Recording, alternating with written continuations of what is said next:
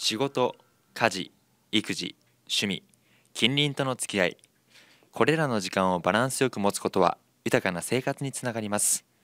しかし実際にはなかなか難しいのが現実です。そこで豊島区はワークライフバランスを推進し仕事と生活の調和の取れた充実した暮らしの実現に向けて取り組んでいます。それでは担当者にワークライフバランスについてお話を聞いてみましょう。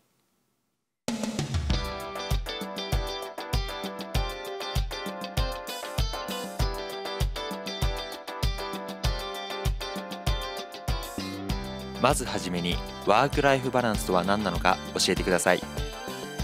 ワークライフバランスとは仕事と生活の双方を調和させることにより仕事と生活それぞれに好循環をもたらすことです。年齢や性別に関わりなくその人それぞれの生き方や働き方の実現できる社会を目指しています。内閣府は平成19年に策定した仕事と生活の調和検証と行動指針を平成22年に改定し積極的にワークライフバランスを進めています。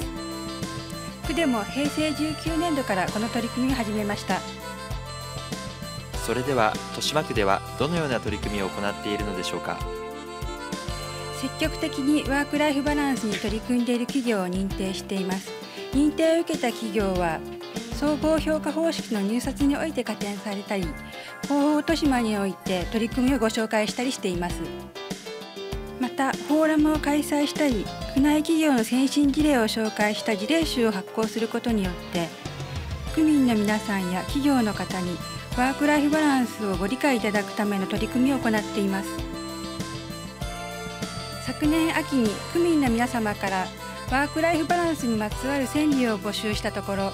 56作品のご応募をいただきました。その中から優秀作品3点をご紹介いたします。我が夫育休中に公演デビュー。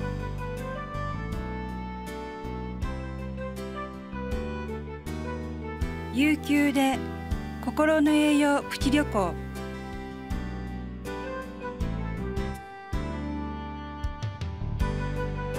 7時から打ち合わせなんてマジやめて。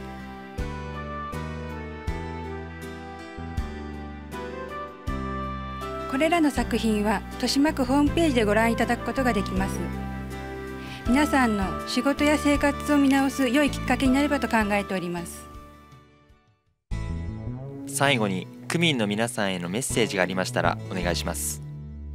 ワークライフバランスは一企業や個人だけが取り組めばよいのではなく社会全体で取り組まなければなりません。皆さんも今の働き方を見直し充実した暮らしについて考えてみてはいかがでしょうか。今日はどうもありがとうございました